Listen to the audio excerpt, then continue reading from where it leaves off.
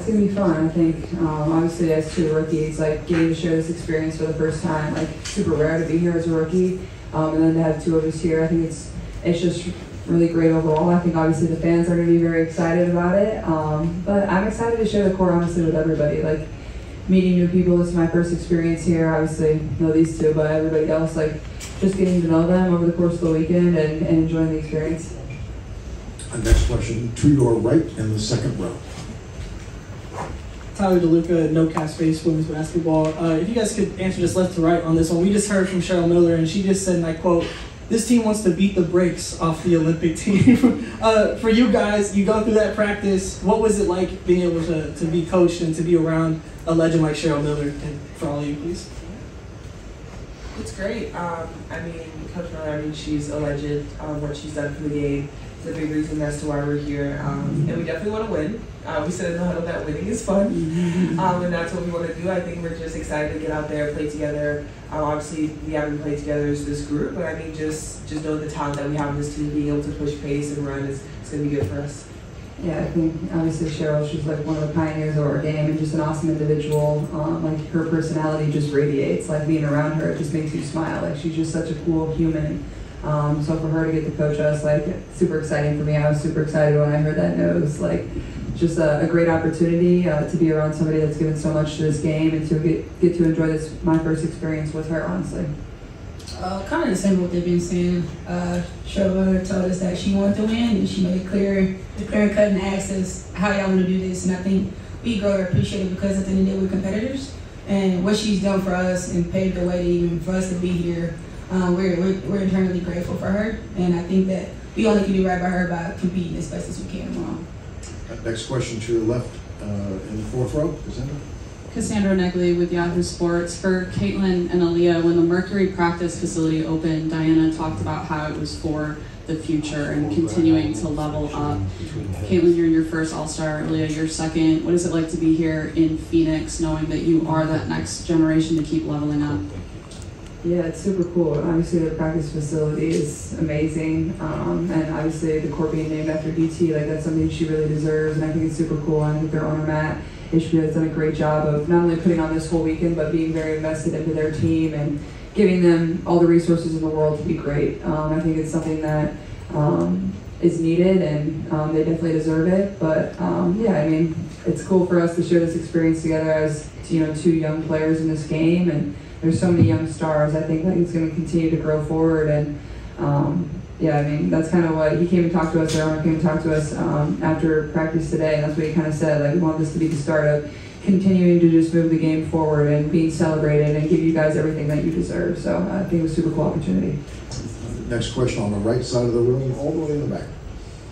Hey guys, Justin Lacertosa, Burn City Sports. Obviously, a lot of the talk this season has been about the growth in women's basketball, all the eyes that come with it, but obviously, you guys in the entire league have to put in the work to see those results, and especially this season, condensed schedule with the Olympic break.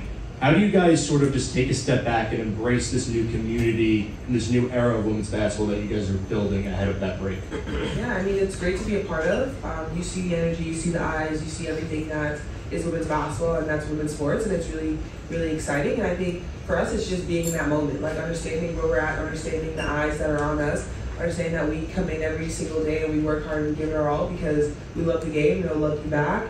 Um, and so it's really it's really special for us, and I think just thinking about our team too, like we have a special group. There's so much talent, and I think we just continue to work hard, and everyone that's watching is seeing the talent that we have. Uh, Next question right here to the left, second row. Hey y'all, uh, just a quick one for Caitlin. Uh, how do you feel you've grown as a film watcher from your time at Iowa to now? I honestly, like I've always been somebody that's watched film, so I don't think it's really changed. Like it's, I mean, film doesn't lie. If you think one thing happens in the game, it's not gonna lie to you. You go back and watch it. So whether it's good, bad, ugly, I think it's a great way to learn. Um, but at the same time, like when I would go back and watch with one of our coaches, like we also watch the good stuff, see the stuff that you did well. It doesn't always have, to be just the bad stuff. You find plenty of ways to learn, but also find the ways that you you improve and got better, and just continue to, to you know replicate that from game to game, and then improve on the one on the ways that you didn't. Um, but yeah, I mean. I don't think it's changed much. Like I've always been a film watcher and somebody that you know wants to learn from game to game, and then also watch film of our next opponent. We have time for about two more questions. Uh, To your left, toward the back of the room. Hey, Galen, Josh Weinfuss, ESPN. You talked earlier about how um, you've been playing for about a year straight. So, can you put into perspective how tired are you? And on top of that, Just get like tired. you see the way I run? I She just sprint all the time. all the time. sprint. I sprint everywhere. I sprint in my apartment. I sprint. I sprint. Go sprinting. Um, and then not making the national team, obviously you wanted to, but is it a blessing in disguise at all to give you some time off? Yeah, I mean, obviously, my dream, my goal was to be there and to be there at some point. Um, but I think getting this break is going to be very beneficial for myself and something that I deserve. And at times, like, I'm just somebody that wants to continue to work and continue to play. And there has to be a point where, you know, that has to stop and you have to, you know, take care of yourself and do things for yourself. And maybe some of those decisions at times can be hard. And you want to give the world and everybody watching what they want to and help this game get better and better. But um, I think relaxing and reflecting on everything that's happened to me over the course of the last year is going to be super important because my life has moved so fast. My life has changed so much. Um, I don't want to let any of those moments pass me by. Um, so I think just you know taking care of myself and knowing that it's okay to put yourself first sometimes is is super important. But I mean, like, sure, I'm tired, but at the same time, like, there's so many people that would kill to be in my shoes, and so many people that are going through, you know, so much worse in their lives. Like, I'm a professional basketball player. My life is pretty, pretty good, so I have no complaints. And if I'm gonna be tired, I'll be tired. Like, I'll take that every single day of the week. So um, this break will definitely be nice. So.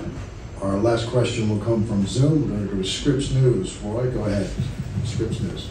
Um, okay, question for uh, Caitlin. I was wondering if you had any, like, you know, the community service um, um, obligations or activities here coming up this weekend. I know there's a lot of work off the court happening. Um, just if there's events that you're looking forward to and sort of being a part of the community and connecting with others and sort of expanding uh, the reach of the W and the game, like, like what's on schedule for you? This weekend? Yes.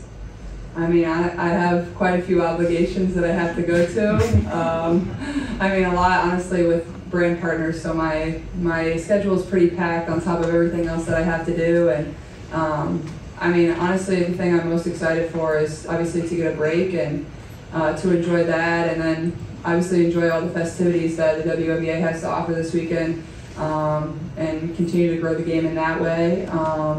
I think honestly, once I get back to Indianapolis and once the season ends, like getting into the community there, like that's my new home and enjoying that and connecting with them because I just moved to the city and like I didn't really get to meet them or know them or really get involved in the community that much. Like I just started playing basketball there. Um, that's all I do. Um, so I guess that's all I got for you at this point. I mean, I'm pretty busy.